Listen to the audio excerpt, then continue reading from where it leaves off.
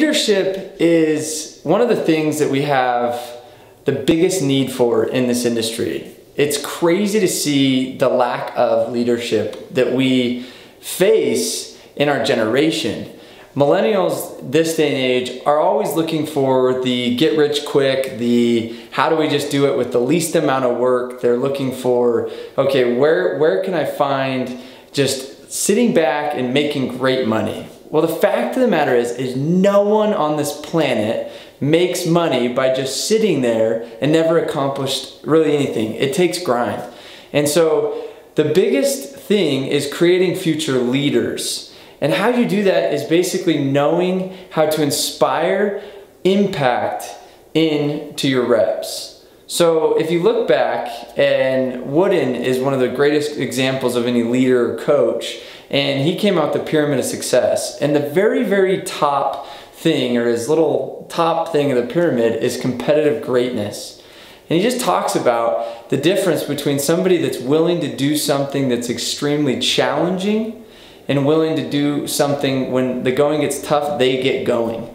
And that's one of the things that we're slowly losing. It's so funny to see like in sports teams and things like that, coaches are inspired to say, oh, you did a great job even though you lost. Everyone gets medals. It's like a bad thing to say, you lose, you win. And we're losing that competitive greatness in our, in our generation today. And people are starting to, to fall back with like equality and everything needs to be the same. But the problem is, is to be a great leader, you have to have that itch to be great.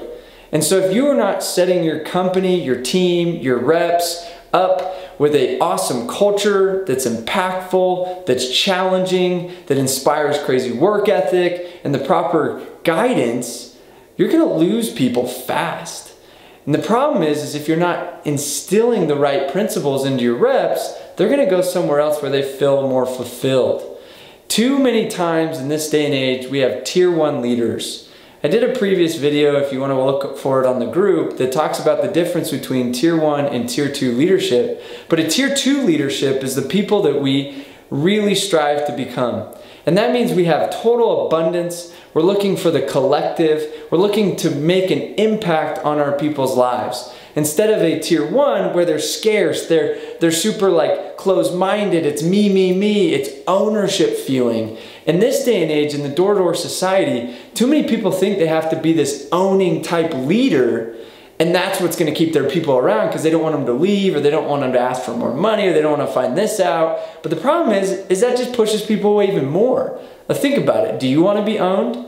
And so in leadership, one of the key principles is knowing how to be abundant, how to add massive value so you can create massive impact for your people.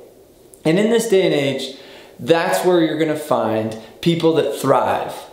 So as we go grow, we need to be able to have people feel like they can grow under us. That's some of the key principles to leadership, especially in door to door.